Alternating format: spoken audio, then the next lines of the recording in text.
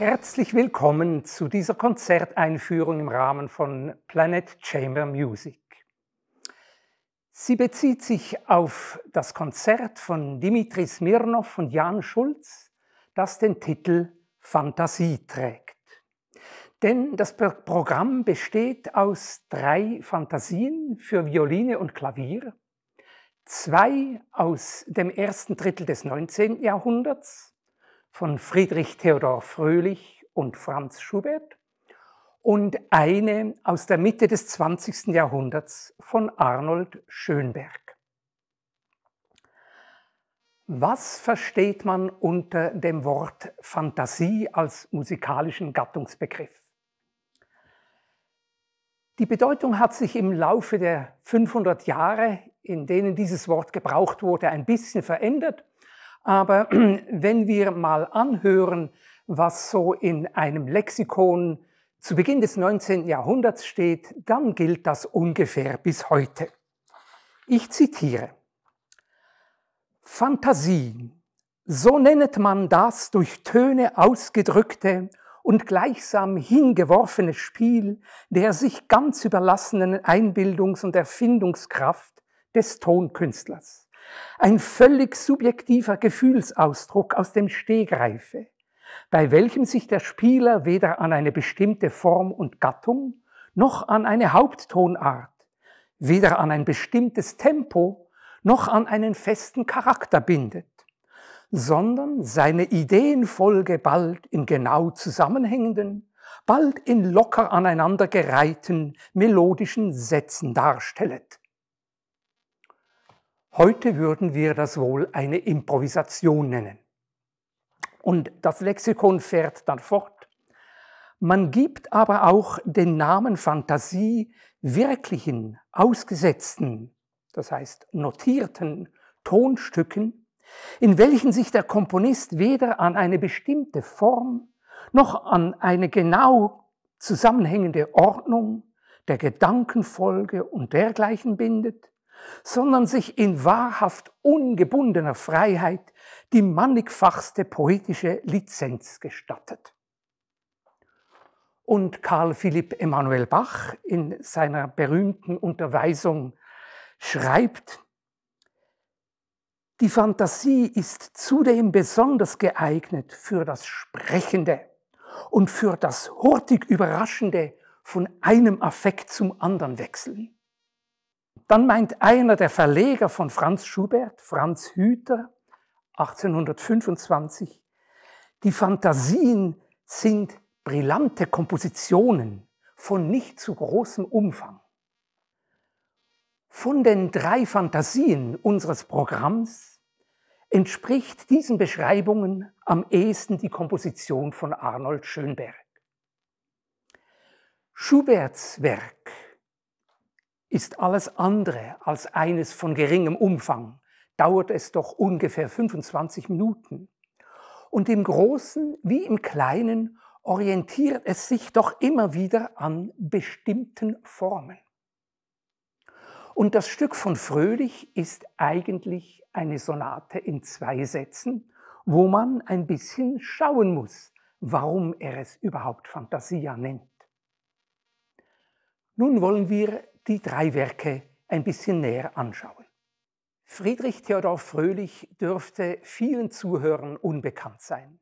Deswegen erlaube ich mir, einige Blicke auf seine Biografie zu werfen.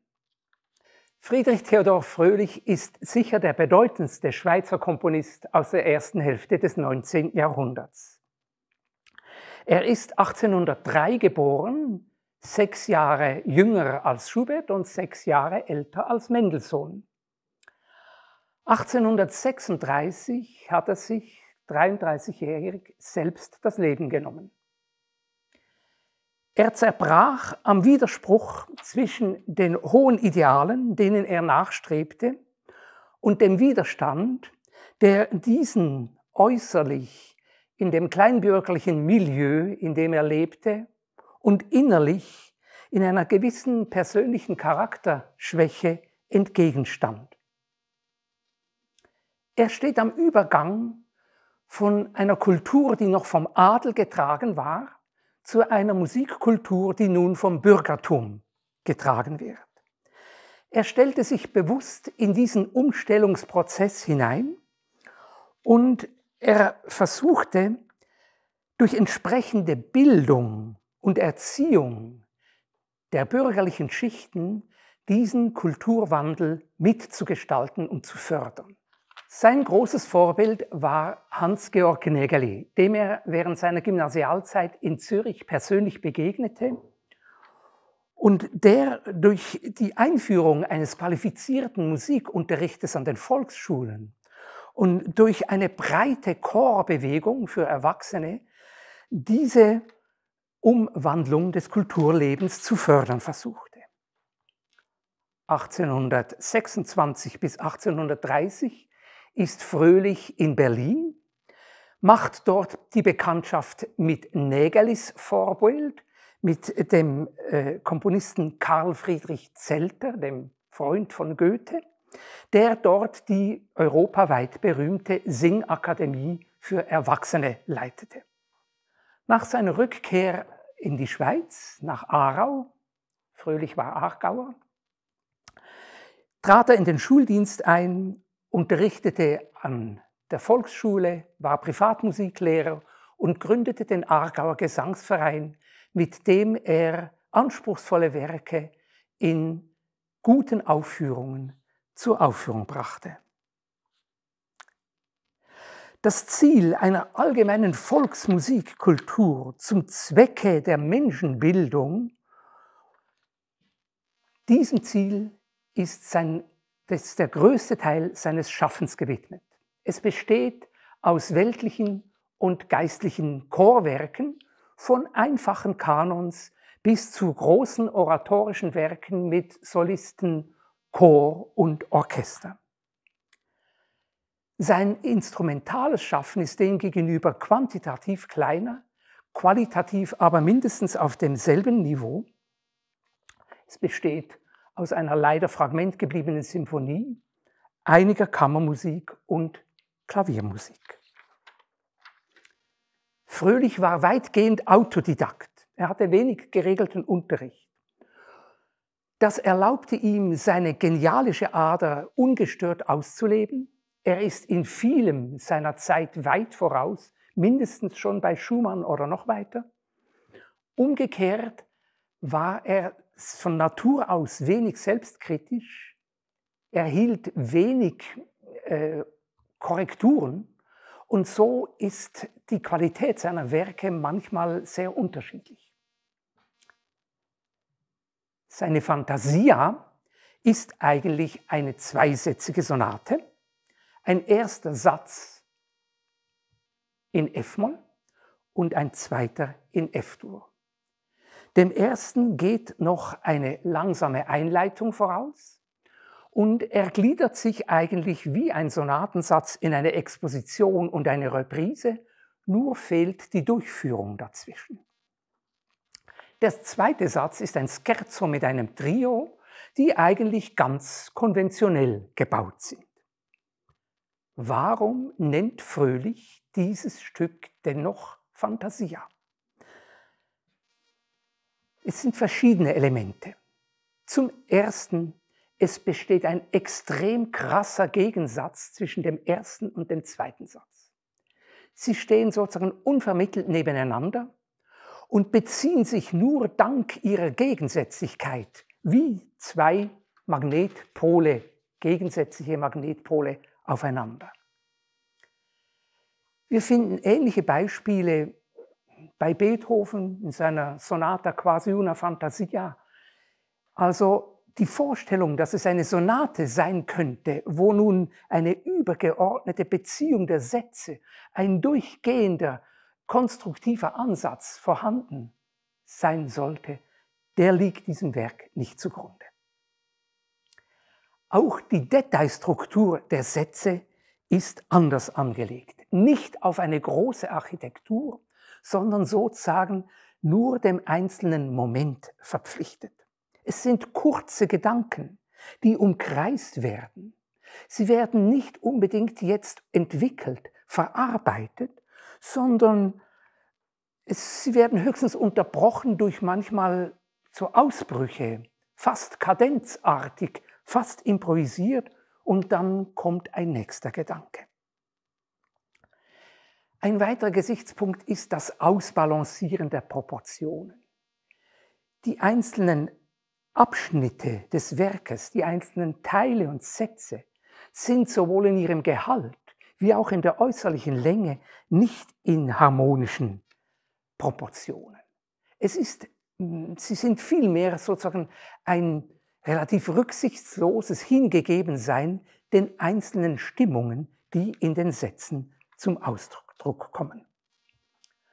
Ein weiteres Element, das äh, schon weit in die Romantik hinein äh, weist und das eigentlich auch nicht zu den traditionellen Formen gehört, ist die Vieldeutigkeit, die fröhlich gewissen Erscheinungen zu geben versucht.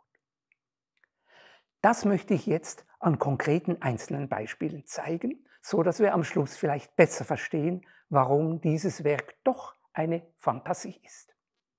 Das Werk beginnt mit dem folgenden Klang, der eine gewisse Offenheit und Uneindeutigkeit hat.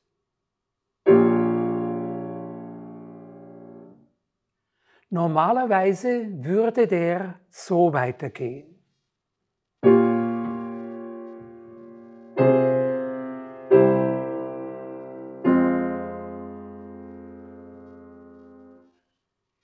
In dem Stück von Fröhlich wird das noch ein bisschen intensiviert im Ausdruck, dramatisiert und in einem sehr, sehr langsamen, ruhigen Tempo gehalten.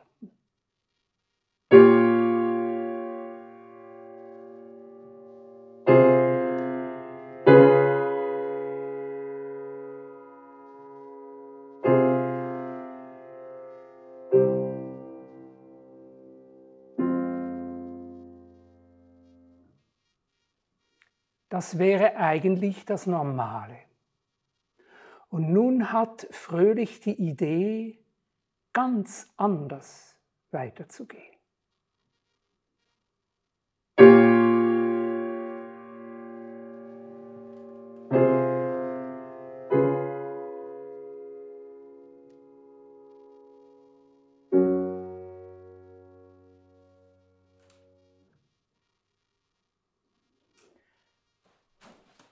Er moduliert dadurch von seiner Ausgangstonart F-Moll nach Gestur. Das ist eine viel dunklere Tonart, sie hat mehr Bs am Schlüssel, ist aber eine Dur-Tonart. Gegenüber F-Moll kennen wir sie vor allem aus folgenden in der Oper seit dem 17. Jahrhundert oft verwendeten Wendungen.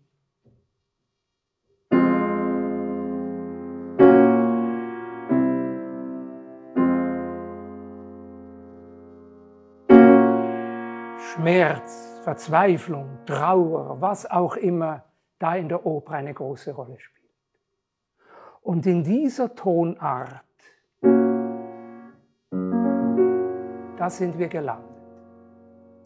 Ich spiele diese Einleitung des Klavieres nochmals und dann wird die Violine in diese ganz neue, düstere, obwohl es dur ist, aber doch düstere Gesturstimmung einsetzen.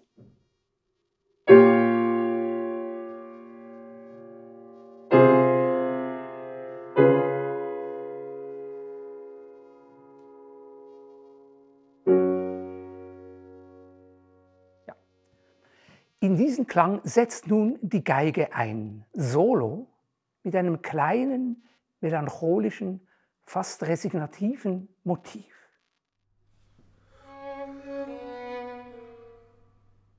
Aus diesem Motiv heraus entwickelt sie nun eine freie, kadenzartige Improvisation, die aber am Schluss wieder in diese traurige Stimmung endet.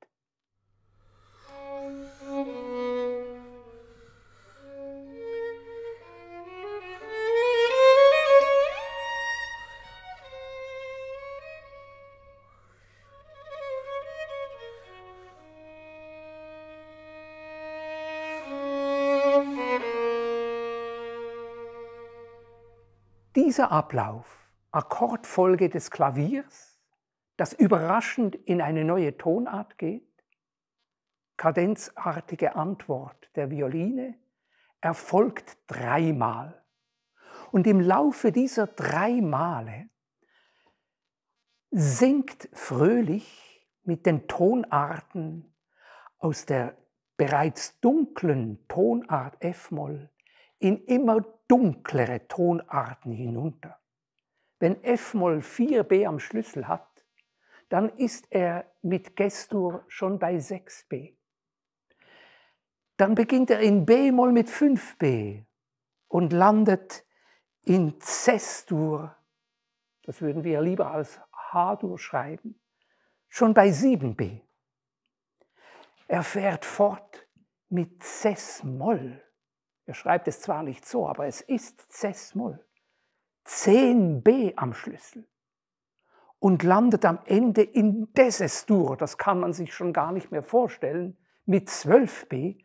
Das ist so düster und so dunkel, dass man sich fragt, wie komme ich aus diesem finstern Loch noch heraus? Zum Glück ist Desestur dasselbe wie C-Dur und dann ist man mit einem Sprung schon wieder in F-Moll und jetzt kann der eigentliche Satz beginnen. Er beginnt folgendermaßen.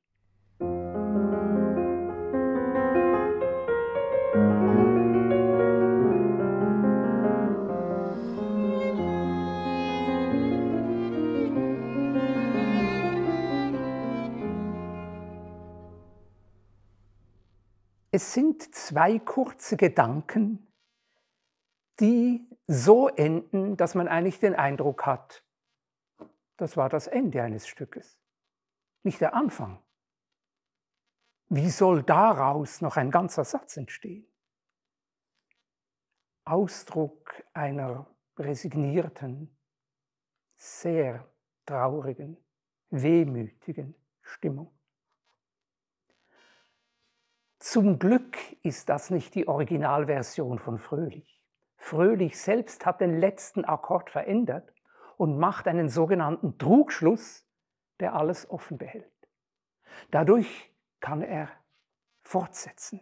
Wir hören diesen Trugschluss.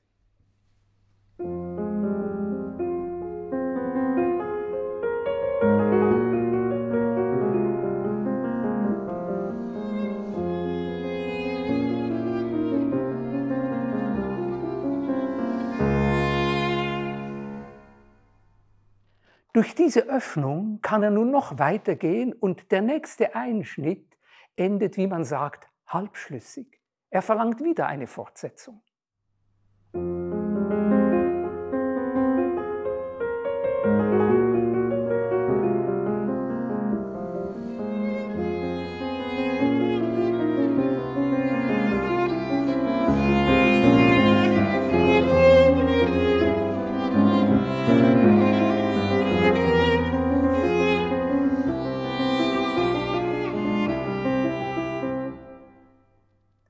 Und so setzt sich nun der ganze Satz fort. Er bringt immer kleine Motive, die zu einem Ende kommen könnten und dann werden sie aufgerissen am Ende und es fließt weiter und es fließt weiter und es fließt weiter. Aber eigentlich geht es immer nur um kleine Gedanken. Und der Hauptgedanke kommt gar nicht am Anfang des Satzes, sondern er kommt in der Mitte, beiläufig so einmal. Eine wunderbare Melodie aber die ist nur so en passant. Also wir sehen, es ist nicht ein abgeschlossenes Gebilde, nicht ein Gebilde, das aus klaren, zueinander gestellten Teilen zusammengesetzt ist, sondern ein Strom, der sozusagen suchend und tastend sich fortbewegt und nur am Ende vor der Coda endlich eine Kadenz macht und dann wird nur noch sehr traurig Abschied genommen. Dem steht als riesiger Kontrast der zweite Satz gegenüber.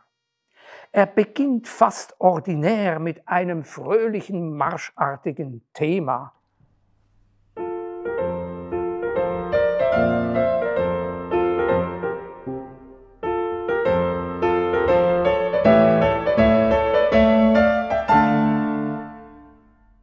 Plötzlich geht das aber in einer anderen Taktart weiter.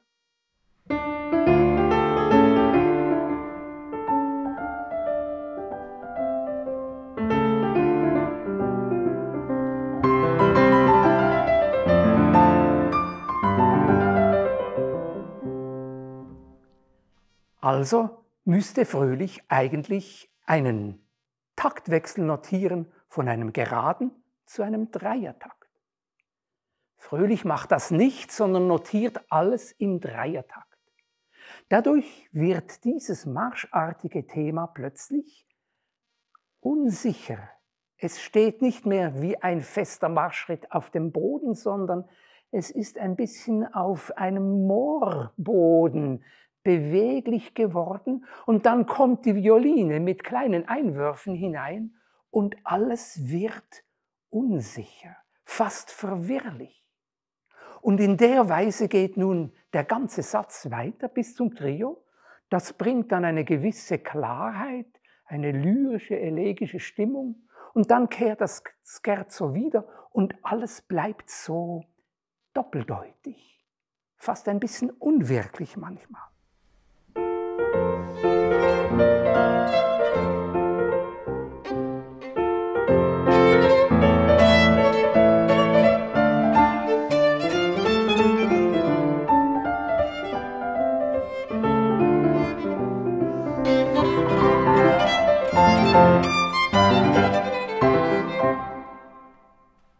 Das heißt, fröhlich geht es darum, dass jetzt dieser, diese Lustigkeit fast des Satzes eine Doppelbödigkeit kriegt.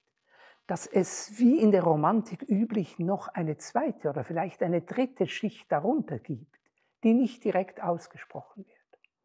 Und das gehört ganz wesentlich zu der Epoche der Romantik und das gehört auch zum Wesen der Fantasie, dass man nicht weiß, wo noch was lauert das plötzlich auftauchen kann, das plötzlich eine neue Welt eröffnen kann. Von daher ist es vielleicht verständlich, dass auch dieser Satz zu einem Gebilde hinzugenommen wurde, das letztlich Fantasia genannt wurde. Ich danke den Musikern für das Spielen der Beispiele. Ich danke Ihnen für Ihre Aufmerksamkeit und hoffe, dass diese Einführung sie doch ein wenig auf das Stück eingestimmt hat.